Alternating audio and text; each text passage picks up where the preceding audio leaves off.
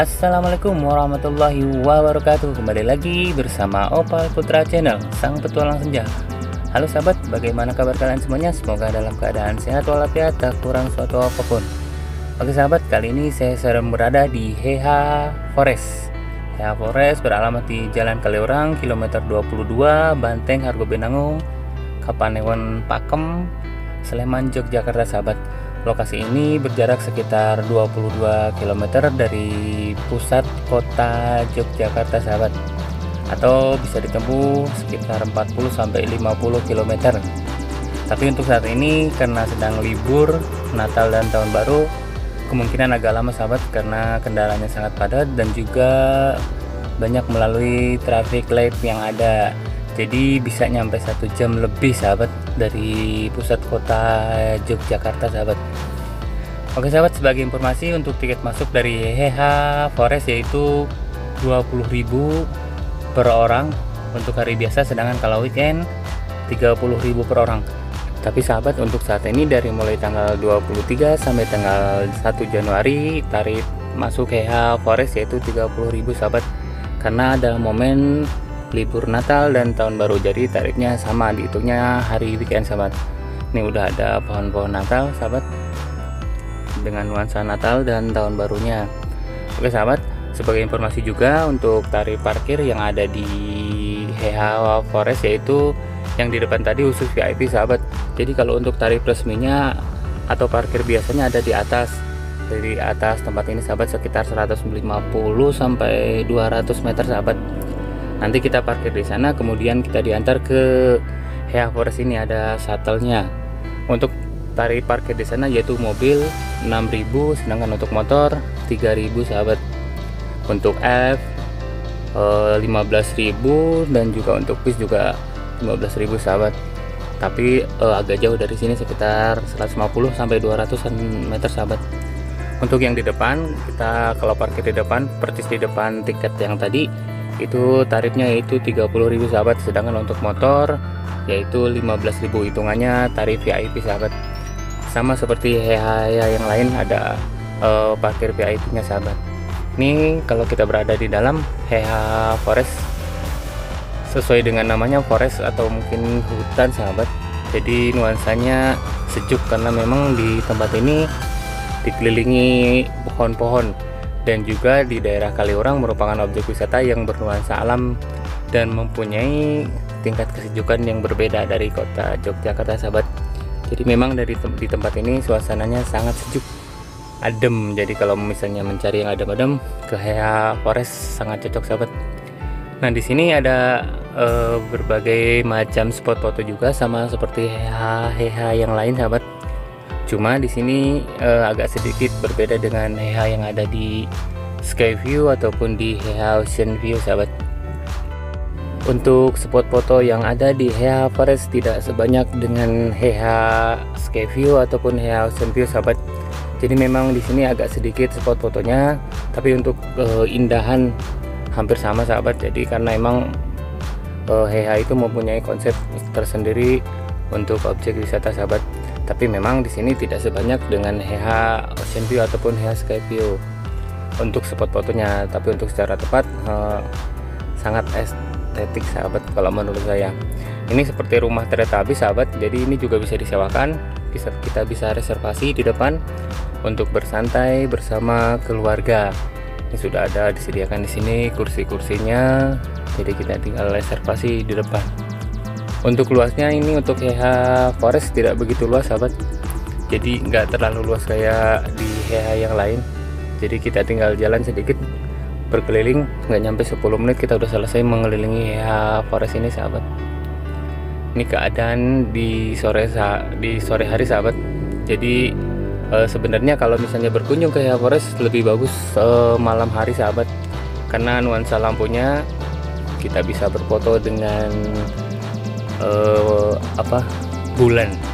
Nah di sini itu merupakan salah satu uh, nilai jualnya dari dari Heha Forest sahabat. Jadi ada apa replika bulan di sini.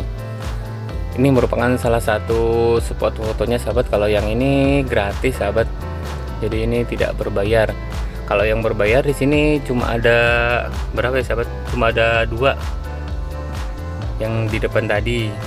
Jadi uh, di sana ada gate of fantasi yaitu misalnya kita melewati lorong di sana terdapat instalasi multimedia impresif. Jadi kalau kita mau spot foto dengan cahaya-cahaya digital gitu sahabat kita masuk di situ. Uh, panjangnya kurang lebih 25 meter dan untuk tiket masuknya juga 25.000 sahabat untuk spot foto di Gate of Fantasinya sedangkan untuk yang di jembatan kita bisa berfoto dengan replika bulan itu kita membayar 20.000 sahabat untuk spot fotonya. Nah ini merupakan pintu keluar dari Gate of Fantasi jadi rolong itu yang uh, di dalamnya terdapat instalasi multimedia sahabat ini seperti yang di area belakang kayak jacuzzi jacuzzi di sini juga kita bisa uh, spot foto sahabat. Berfoto ria di sini. Kalau yang ini gratis. Tidak ada tarif untuk berspot foto. Di sini juga indah. Kalau misalnya kita mau ngambil foto tuh adem. Untuk restonya uh, apa namanya untuk saat ini memang sangat ramai sahabat.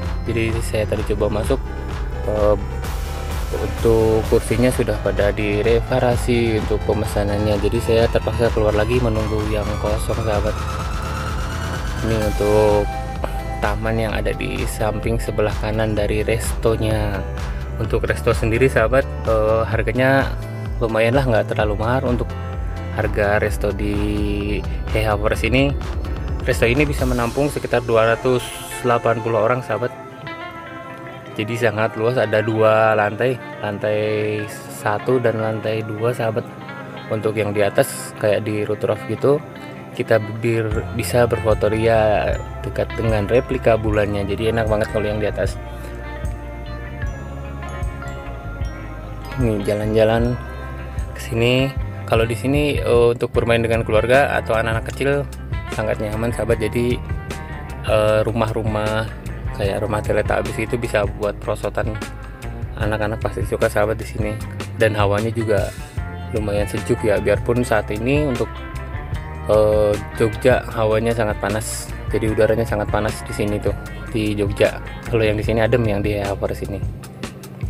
Ini saya berkeliling di mengelilingi restonya.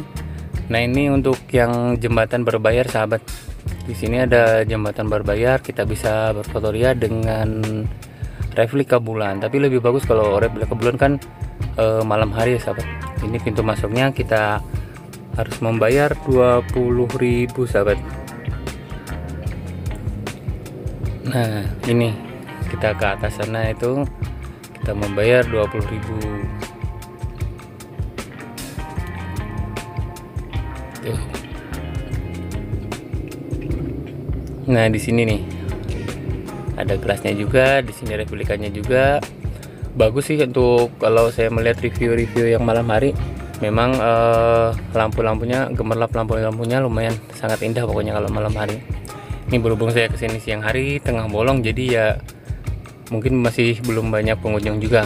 Untuk yang di pojokan juga sama tuh ada uh, apa namanya makan kelinci untuk anak kecil ya sahabatnya cocok banget kalau dibawa ke sana jadi ada bunny zone yaitu makan kelinci. Ngasih makan kelinci kita membayar 15.000 ini musolanya sahabat.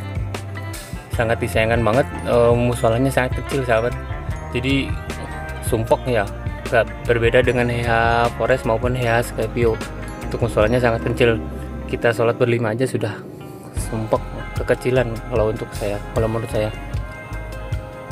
Nah ini di bagian depannya Nah ini ada tower bambu sahabat, kita juga di situ bisa berfoto dia. Cuma kalau lagi rame ya susah karena e, maksimal dua orang yang naik ke atasnya itu. Nah ini salah satu apa e, nilai jual dari Heha Forest itu terowongan yang menuju Gate of Fantasy yang lorong-lorong itu sahabat. Tuh kalau sini saya sarankan lebih bagus sih uh, malam hari karena bisa melihat uh, replika bulannya bersinar sahabat kalau siang. Uh, kan tidak bercahaya jadi kurang kurang indah. Tapi siang juga bagus karena di sini nggak panas. Hawanya nggak panas ditumbuhi dengan rum pohon-pohon yang rindang sahabat. Jadi nggak nggak khawatir kita kepanasan. Berbeda dengan Heha Sky View maupun Heha Ocean View harus malam hari kalau ke sana kalau nggak sore hari. Karena kalau uh, siang hari waduh panasnya. Tuh anak-anak perosotan di sana di sini juga ada live musiknya sahabat untuk weekendnya. Ini di area apa tengah dari resto dari Hea Forest sahabat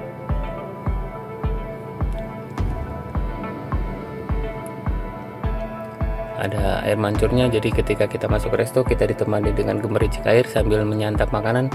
Sangat uh, sungguh sangat luar biasa. Ini nih saya coba ke dalam restonya. Ini tadi saya mencoba tadi sudah banyak tempat yang direservasi sahabat jadi agak ini ya mungkin belum pada datang. Tapi sebenarnya tempatnya udah di booking oleh pengunjung-pengunjung lain di sini kita bisa melihat atau berhadapan langsung dengan gemericik airnya. Jadi ini nambah nikmat kalau makan. Harganya pun bersahabat-sahabat dan masakannya enak. Seperti itu sahabat. Tuh. Ini di dalam resto di Heha Forest. Untuk tiket terusan juga berlaku sahabat yaitu 45.000 untuk semua Heha yaitu Heha Forest, Heha Skyview maupun Heha Ocean View. Tapi untuk tiket terusan hanya berlaku di hari biasa sahabat. Kalau untuk hari weekend seperti ini atau liburan Natal dan dan tahun baru tiket terusan tidak berlaku sahabat. Eh, jadi hanya hari-hari biasa aja. Sebagai informasi juga untuk jam operasionalnya yaitu dari mulai jam 8 sampai jam 21 sahabat itu untuk hari biasa. Sedangkan untuk hari weekend seperti liburan Natal dan Tahun Baru itu dari uh, jam 8 sampai jam 10 malam sahabat. Apalagi nanti di momen tahun baru ini juga uh, buka sampai tengah malam sahabat. Untuk merayakan tahun baru di Jogja Heha Forest. Seperti itu sahabat ini merupakan pintu keluarnya. Jadi kalau kita keluar kita diarahkan melewati apa ya sahabat souvenir. Souvenir di sini disediakan jajanan dan juga souvenir yang, memang harus kita lalui sama seperti di heha-heha yang lain. Konsep mereka seperti itu sahabat. Nah ini untuk uh, pintu keluarnya kita harus melewati uh, toko merchandise atau souvenir yang ada di heha sahabat. Oke sahabat. Selamat tahun baru Semoga kita mempunyai semangat baru. Sampai bertemu di penelusuran penelusuran berikutnya. Ciao.